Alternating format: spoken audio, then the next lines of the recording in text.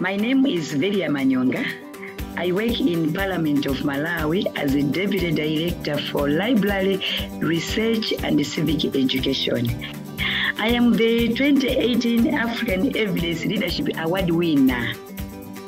This award has made me to be recognized, not only me, but Parliament, which is an institution which is forgotten in terms of evidence. And when I'm talking of parliament, I'm not only talking for Parliament of Malawi, I'm talking of parliament across the regions. Parliament is an institution where evidence is rarely taken to parliament.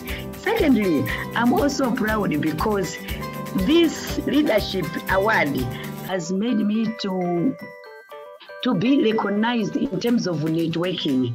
I can network with a lot of stakeholders in Malawi, outside Malawi, like in the African region, even in the whole world. So the network has opened up more opportunities to champion evidence used to parliamentarians.